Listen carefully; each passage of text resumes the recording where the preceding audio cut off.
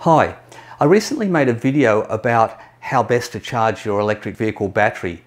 The video runs for about 16 minutes and I realise that it's full of technical information and it's a lot to absorb and many people just won't have the time or the patience to do that. So I thought I'd do this abridged version for people that are a bit uh, short of time and it just gets to the duck's guts of what you need to know. So before I get into that, two points to make. The first one is this. I know there's a lot of information out there on the internet and a lot of it is just people's opinion and it's unsupported by hard data or facts.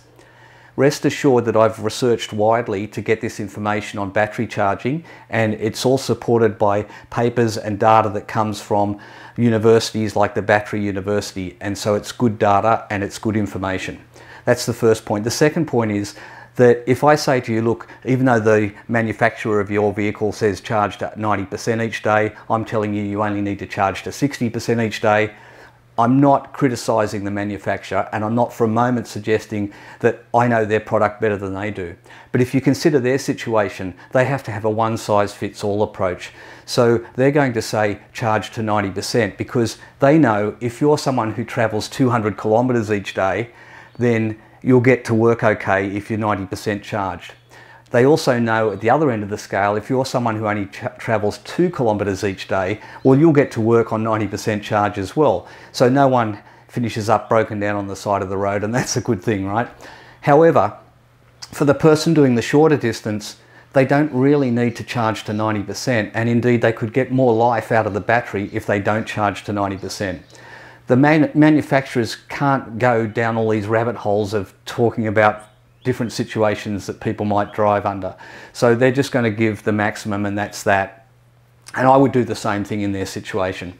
So this video is really for those of us that don't drive long distances like me. I only drive about 14 Ks each day. And this information can help you get much longer life out of your battery by not charging it to the recommended level. So there you are, I've given you a spoiler, that's what it's about. Let me quickly go through the chart with you and explain to you why I'm saying this, and I'll come back quickly and just conclude and, and tell you what uh, my final thoughts are. Okay, so this is the website of the Battery University, and I've put the link in the bottom of this video if you want to go there and check it out. There's lots of good information. I'm referring to this report today, which is BU 808. And there's many charts and tables in here, but there's one specific one that I want to look at closely with you today, and that's this one here. This one really summarizes neatly the impact of charging and discharging on the life of a lithium battery. Now, what they did to create this chart was they took a bunch of lithium ion batteries and they subjected them to various charging and discharging sequences.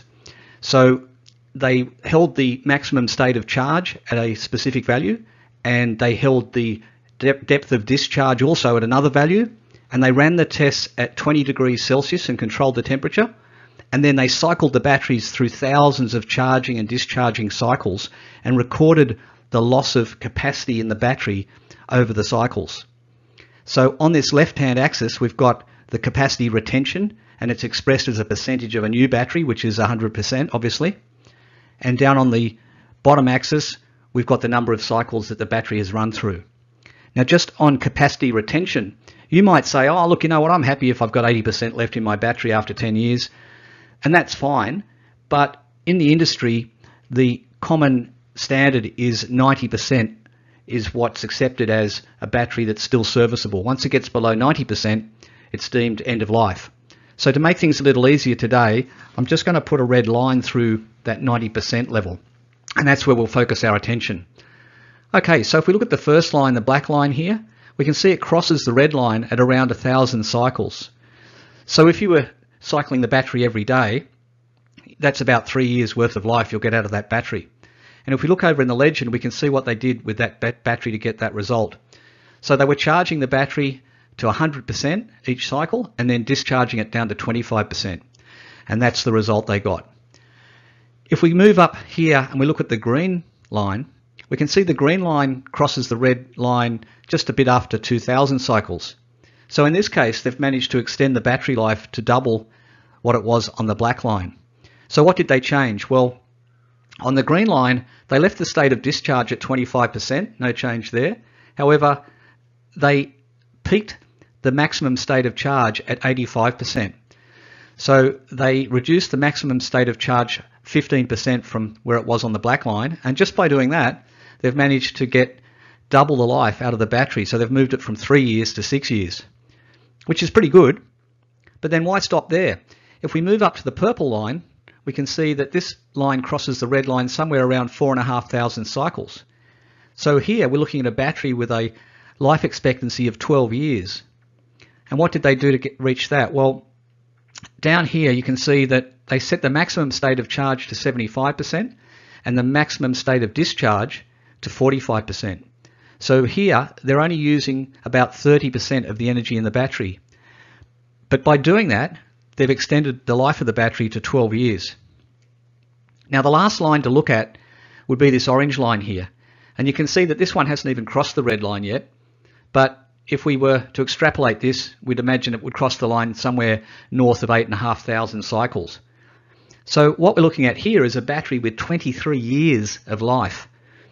How did they achieve that? Well, down the bottom here you can see that they capped the maximum state of charge at 75% and the maximum depth of discharge at 65%. So we're really playing in a very narrow band here where they're only using 10% of the energy in the battery each cycle. And by doing that, they've radically extended the life. Of course, I know you're going to say, well, isn't that a waste of a battery? I mean, you've got this battery with enormous capacity and you're only using 10% of it. Well, that would be right. But then it turns out that most people in developed countries drive less than 20 kilometres each day or 30, 13 miles each day when they commute.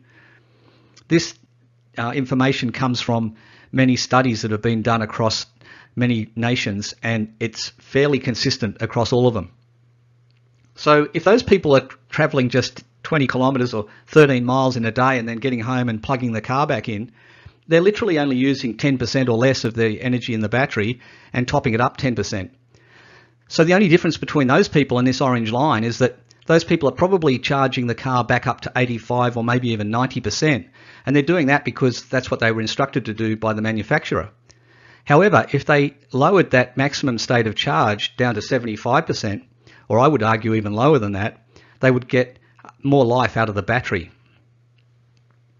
Now, I stress again that I'm not criticising the manufacturers or questioning their knowledge of their own product, but I remind you that they have to give a one-size-fits-all direction to people who buy the product, and so they're allowing for the person who drives maybe, you know, 200 or 400 kilometres in a day and they know that if they charge to 90%, they'll make that distance. And they also know that someone who drives less than that will make their distance, so there's no one going to be left high and dry. But if you're someone who only drives a short distance, then you could charge to a lower state of charge and get more life out of the battery. The only disappointing thing about this chart is that they didn't run a test going from, say, 60% maximum state of charge down to 50% because it seems that the closer you get to the Goldilocks state of a lithium ion battery, which is around 50% state of charge, the less stress you're putting on the battery and the longer the life that you'll get out of it. So I expect if they had to run these tests um, going from 60% down to 50%, they probably would have got a line that's even flatter than this orange one. Okay, so there you have it. I think it's fairly obvious from this information that for lithium ion batteries, there's a sweet spot around about 50% state of charge where there's the least amount of stress being put on the cells and that's going to give you the longest life for the battery. So if you're someone who only travels a short distance each day, you're much better off just taking out that 10% of the battery energy that you need and then topping it back up to maybe 60%. And the next day, repeat the same thing. If you wanted to, you could probably take it down to 40% and then recharge every two days back to 60%. But basically you want to stay as close as you can to that kind of 50% state of charge and that will give you the longest life you can possibly get out of your battery. So I hope this information has been useful to you and if it has please give me the thumbs up and I look forward to seeing you in the next video. Take care.